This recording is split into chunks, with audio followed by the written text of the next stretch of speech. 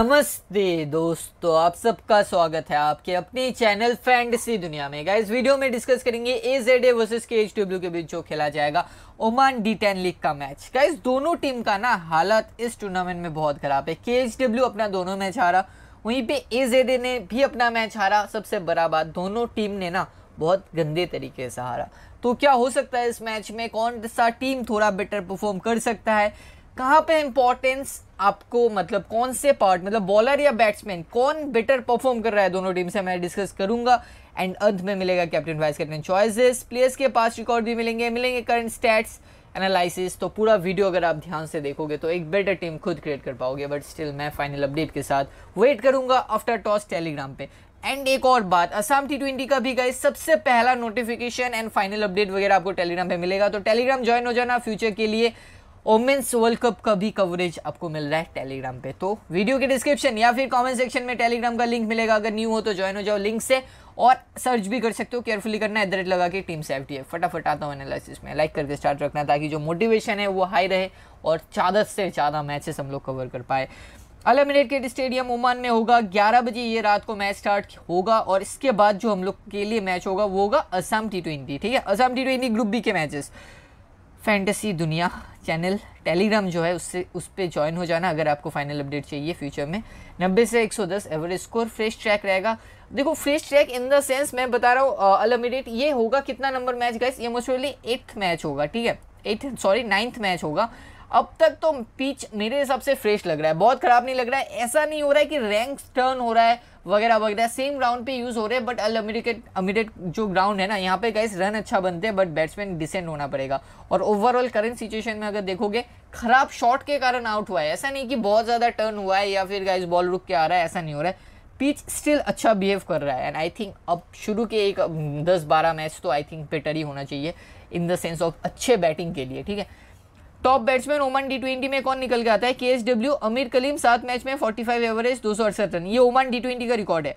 देखो अमीर Kaleem Oman T twenty में अच्छा खेला था विद बैट विद बॉल दोनों में अच्छा खेला था। तो ये डिफ़ॉल्ट कैप्टन है हमारे लिए। जिशान सिद्दीकी अगर खेलते हैं, फ़िलहाल मोस्ट प्रोबेबली इंटरनेशनल स्क्वाड के साथ है। अगर आ जाते हैं तो खेलेंगे। उस कंडीशन में ओपन करेगा और आपको टीम में होना चाहिए। सीन नुआक हिटिंग कराएगा। एस अमीर अली का कुछ रन था और दानिश का कुछ रन था। ए जेड से देखोगे अरसलान बशीर उस सीरीज़ में सबसे ज़्यादा रन बनाए थे और लास्ट मैच में भी सबसे ज़्यादा रन बनाए। क्यों इंपॉर्टेंट है पास्टी को, समझ रहे हो ना आप? अकमल सेकेंड बेस्ट स्कोरर थे उस सीरीज़ में और इस टाइम पे भी आई थिंक इस टीम इस टीम के लिए गए सेकेंड बेस्ट प्लेयर है गाइस राहु अकर का ज़्यादा रन था नहीं छः मैच में क्या, बिरासी रन अजगर का कुछ ऐसा, वसीम का बहुत ही कम।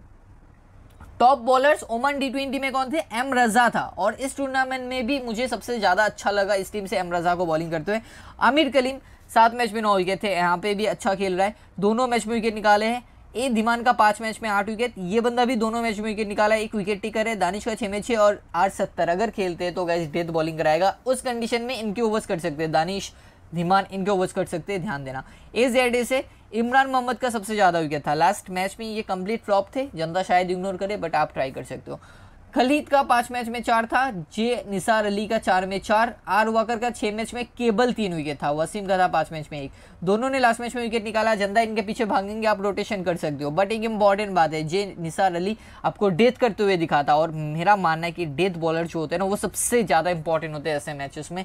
और हाँ दोनों टीम का बैटिंग तो मुझे ज़्यादा कुछ खास लग नहीं रहा है तो विकेट तो दोनों एंड से गिरेंगे। के एच डब्ल्यू आई थिंक थोड़ा सा बेटर है कॉम्पिटिव इनका ओपोनेंट रीजन है अमीर कलीम इंटरनेशनल प्लेयर जिन्होंने दोनों मैच में विकेट निकाला है बैटिंग से भी हिटिंग कराया बट इनके बाद कोई बैट्समैन मुझे लगा ही नहीं जो गैस रोक भी पाएगा ठीक ठाक से। सबका विकेट गिर रहा है, कुट्टी रजा शनमुगम पावर हिटर नहीं है गैस ये। मतलब अगर ग्राउंडेड शॉट खेलेंगे तो रन बनाएँगे, अगर कोशिश करेगा कि डीप मिड विकेट के ऊपर से छक्का मारे या स्टॉक स्विप आउट हो जाएगा। दानिश मोहम्मद दोनों मैच में आ, कुछ मतलब हिटिंग कराते हुए दिखे हम लोग के लिए और दो एक ओवर डाले हैं। लेफ़्ट आर्म ऑर्थोडॉक्स है। एस अमीर अली ज़्यादा अच्छा कंट्रोल से बॉलिंग करते हुए दिख रहा है और साथ ही साथ ना डेथ या फिर गाइस वो जो मिडल ओवर्स के जो सेकंड पोर्शन होता है ना पहला पाँच नहीं दूसरा पाँच होता है उस पोर्शन में अक्सर बॉलिंग कराता है। तो बहुत ही क्रूशल पिक होंगे स्पेशली बॉल फ़र्स्ट अपनी टीम में ज़रूर से होना चाहिए ये बंदा ठीक है सही अमीर अली और हाँ ये बंदा फ़्लाइट भी करा रहा है। मुजाहिर रजा पावर प्ले में एक ओवर एक ओवर डेथ में सबसे इंपॉर्टेंट बॉलर है इस टीम से, प्रमुख प्रमुख बॉलर है मुजाहिर रजा। सेकेंड प्रमुख बॉलर है मेरे हिसाब से सईद अमीर अली और अमीर कलीम, ठीक है? अमीर कलीम भी एक अच्छा ऑप्शन है, फिर सईद अमीर अली। ये तीन प्रमुख बैट बॉलर होंगे और बैट्समैन प्रमुख होगा अमीर कलीम और दानिश थोड़ा हिटिंग कराएगा कुट्टी राजा, ज़्यादा बैटिंग तो इनके पास भी अवेलेबल है नहीं। थोड़ा सा मैं ओपनिंग बॉलिंग कौन है? मुजहिर रजा, अमीर कलीम दानिश डेथ में मुजहिर रजा, अमीर अली। ये बहुत इंपॉर्टेंट होंगे। मुजहिर रजा, अमीर अली डेथ में, या फिर अमीर कलीम भी इनके, इनको सपोर्ट दे सकते हैं डेथ ओवर्स में। देखो, इनके पास जो डेथ ओवर बॉलर है ना, वो ज़्यादा अच्छा नहीं है। और यहीं पर क्वेश्चन आता है कि ये जो बंदा है ना, आर सत्तर, अगर खेलता है तो आपको डेथ करते हुए दिखेगा। सोलह मैच में चौहत्तर ओवर में तेरह विकेट डिफ़ॉल्ट हो जाएगा उस कंडीशन में स्पेशली बॉल फ़र्स्ट बाकी गैस अमीर कलीम बड़ा नाम है और किसी का भी गैस देखोगे तो चौदह का एवरेज है, अर्जुन का, दानिश का इक्कीस का एवरेज है, चौबीस मैच है, केवल तीन सौ छिहत्तर रन है। इक्कीस का एवरेज क्योंकि ज़्यादातर मैचेस में नॉट आउट थे। बॉलिंग से ज़्यादा अच्छा परफॉर्मेंस इनका नहीं है। मुजहिर रजा का बॉलिंग से परफॉर्मेंस है तो बैटिंग से नहीं है। तो टीम ओवरऑल देखोगे तो ज़्यादा मुझे खास लग नहीं रहा है। हाँ सईद अमीर अली का कुछ बैटिंग से परफॉर्मेंस है और कुछ ओवर्स डाले हैं बट ये भी विकेट टेकर लग नहीं रहा है। ए जेड से अगर ध्यान से देखोगे तो इनका बैटिंग में बहुत कुछ डिपेंड करेगा। अर्सलियन बशीर, जिन्होंने लास्ट मैच में बहुत अच्छा हिटिंग कराया था। Akmal Shahzad hit and miss है। बाकी इनका भी बैटिंग अटैक अच्छा नहीं है। और इंपॉर्टेंट बात है, ये जो बॉलिंग यूज़ किया था लास्ट मैच में, इन्होंने गए छः बॉलिंग ऑप्शन यूज़ किया था। अब छः बॉलिंग ऑप्शन या फिर सात बॉलिंग ऑप्शन अगर यूज़ होता है तो मुश्किल होगा आपको रखना टीम में। Khalid Rashid ideally ball first कराएगा तो डेथ कराएगा, बहुत इंपॉर्टेंट हो जाएँगे। इमरान मोहम्मद ये तो लास्ट मैच में दोनों ओवर अपने शायद मोस्टली पावर प्ले में डाल दिया था बट आइडियली एक पावर प्ले एक डेथ ओवर वाले बॉलर है। Wasim Akhtar guys right arm off spin last match में दो ओवर डाले थे बट जान निसार अली डेथ में कराया था। इंपॉर्टेंट बात है डेथ में कराया था। तो यहाँ पे विकेट गिर सकता है। अरसलान, मुझे डिसेंट लगी और अकमल का रिकॉर्ड डिसेंट है। मैंने ऊपर बैटिंग से भी रिकॉर्ड बताया था आपको। ओपनिंग बॉलिंग इमरान वसीम, जशन जसीम जसीम इलाही के रशीद और इमरान आपको डेथ में भी करते हुए दिखेगा। लास्ट मैच में इमरान ने नहीं डाला था बट ये बंदा भी डेथ डाल सकता है। अब अगर पास्ट रिकॉर्ड में आओगे ना, अकमल शहजाद का अगर रिकॉर्ड देखोगे, पंद्रह का एवरेज है सत्ताईस मैच के बाद। हिटर है प्योर हिटर है। सेम उस्मान हैदर और भी एक्सपीरियंस कम है रन भी कम है। हैतम बहार अली इनको बॉलिंग आता है और ये हिटिंग भी बैटिंग के साथ करा सकता है। अठारह मैच में सत्रह का एवरेज से कुछ रन है ओवर से और विकेट है। तो ये डिफेंशियल बन सकता है इस मैच में। बाकी अरसलान बशीर इंपॉर्टेंट पिक हो जाएँगे आपके लिए। नीचे से अगर कोई इंपॉर्टेंट प्लेयर मुझे लग रहा है, राव वकर चौदह मैच में केवल ही पाँच विकेट है, मुदस्सर का सोलह मैच में तेरह, अगर आते हैं तो हम लोग ट्राई करेंगे। वसीम का बीस मैच में बारह।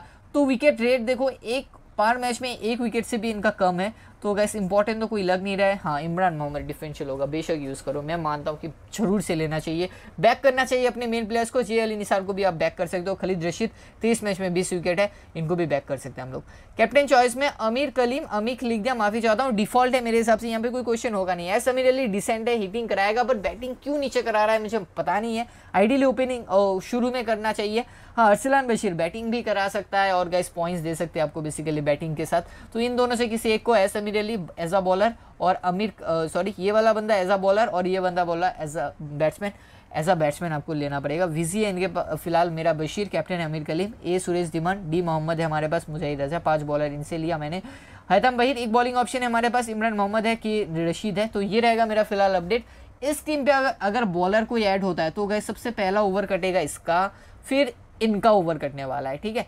और इस टीम से अगर कोई और बॉलर ऐड होता है ना तो इनका ओवर कर सकता है। आई डोंट थिंक कि ऑफ़ बॉलर कटेगा, क्योंकि आप जे अली निसार है, जो डेथ बॉलिंग कराया था बॉल फ़र्स्ट करता है तो उनको भी आप ट्राई कर सकते हो। तो ये रहेगा मेरा बेसिकली फ़िलहाल अपडेट मैं इस मैच का फ्यूचर मैच इसका अपडेट टेलीग्राम पर देने वाला हूँ तो टेलीग्राम ज्वाइन जाना। वीडियो पसंद आया तो लाइक कर देना अगर आप लोग चैनल में नहीं हो तो चैनल को सब्सक्राइब कर देना। थैंक यू एस मिलते हैं मैच टाइम पे।